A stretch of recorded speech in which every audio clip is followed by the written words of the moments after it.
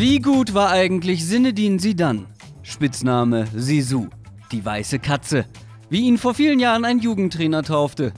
Heute vor allem als erfolgreicher Coach von Real Madrid bekannt, als Spieler, Welt- und Europameister, Champions League-Sieger und dreifacher Weltfußballer. Das ist seine Geschichte.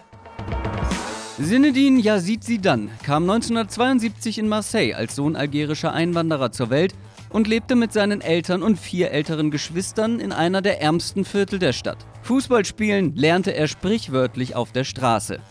Erst mit zehn ging er zu einem kleineren Verein. Nur kurze Zeit später wurde er von einem Scout von AS Cannes entdeckt, wo er erstmal sechs Wochen vorspielen sollte. Aus diesen sechs Wochen wurden vier Jahre. Den Coaches sind zwei Dinge sofort aufgefallen. Hier hat jemand ein unglaubliches fußballerisches Talent, aber auch jede Menge Temperament. Er schlug einen Gegenspieler, nachdem der sich über seine Kindheit im Ghetto lustig gemacht hatte. Es war das erste Mal, dass es in seiner Karriere zu Kurzschlussreaktionen wie dieser kam. Nicht das letzte Mal.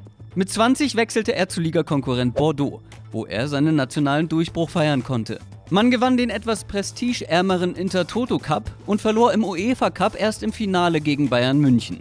Und obwohl Bordeaux in der Liga nicht wirklich überzeugen konnte, wurde sie dann dank starker Leistungen zum Spieler des Jahres in der Ligue 1 gewählt. Die Top-Clubs rieben sich die Hände. Und sie dann entschied sich für einen Wechsel zum frisch gebackenen Champions League-Sieger Juventus Turin. Er war direkt gesetzt, wurde zum besten ausländischen Spieler der Saison gewählt. Juve wurde nach seiner Ankunft zweimal in Folge Meister und schaffte es zweimal in Folge wieder ins Champions League-Finale. Allerdings ohne Erfolg. Erst unterlag man 97 dem BVB und 98 Real Madrid. Trotzdem, spätestens jetzt war der Name Sidan europaweit bekannt. Und zum Weltstar wurde er bei der anschließenden WM 98. Obwohl er in der Gruppenphase gegen Saudi-Arabien nach einer Tätigkeit mit Rot vom Platz flog, wurde er einer der besten Spieler des Turniers, welches von seiner Glanzvorstellung im Finale gegen Brasilien gekrönt wurde. Er dominierte nicht nur das Geschehen im Mittelfeld, sondern machte auch zwei Tore per Kopf und wurde zum Man of the Match.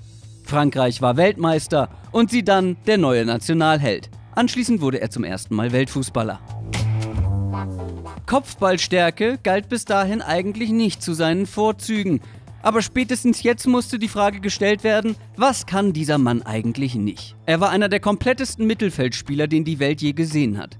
Seine Ballbehandlung war an Eleganz und Feingefühl kaum zu übertreffen. Wie so ein großgewachsener Spieler mit so langen Beinen, mit so einer Lässigkeit dribbeln konnte, bleibt für viele bis heute ein Rätsel. Jede Ballberührung, jeder noch so komplizierte Trick wirkte wie das einfachste der Welt. Er konnte jeden noch so schwierigen Pass spielen und war selber torgefährlich mit beiden Füßen. Und als wäre das noch nicht genug, er war eben wegen seiner Größe auch noch deutlich physischer als viele andere gute Techniker und sich nicht zu schade, intensiv mit nach hinten zu arbeiten. Aber nicht nur seine technischen Fähigkeiten waren besonders, sondern vor allem auch seine Spielintelligenz. Er war wie ein Dirigent seiner Mannschaft, konnte Räume sehen, bevor es sie gab.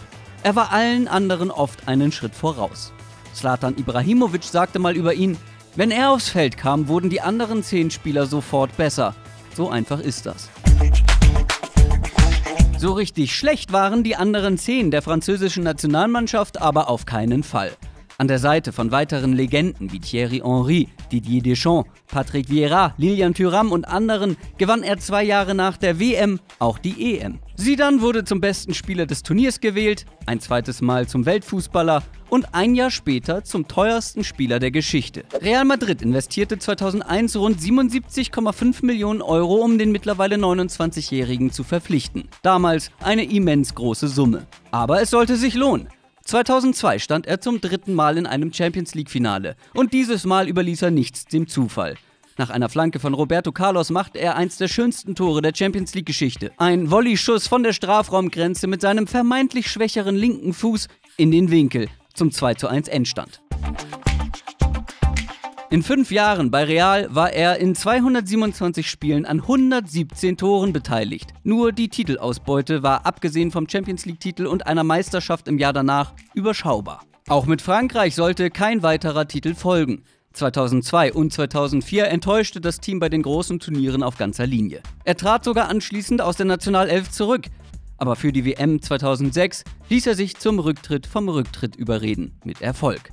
Frankreich schaffte es auch dank wichtiger Treffer von ihm bis ins Finale. Vor dem Turnier hatte er bereits angekündigt, seine Karriere danach zu beenden.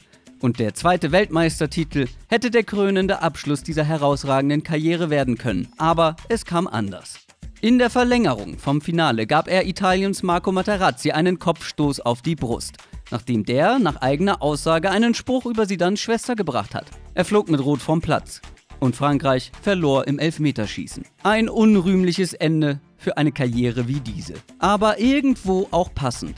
Die Familie und Herkunft stand für ihn immer über allem. Tätlichkeiten und rote Karten begleiteten ihn seit seinen Anfängen. Es war auch nicht sein erster Kopfstoß, den verpasste er 2000 Jochen Kienz vom HSV.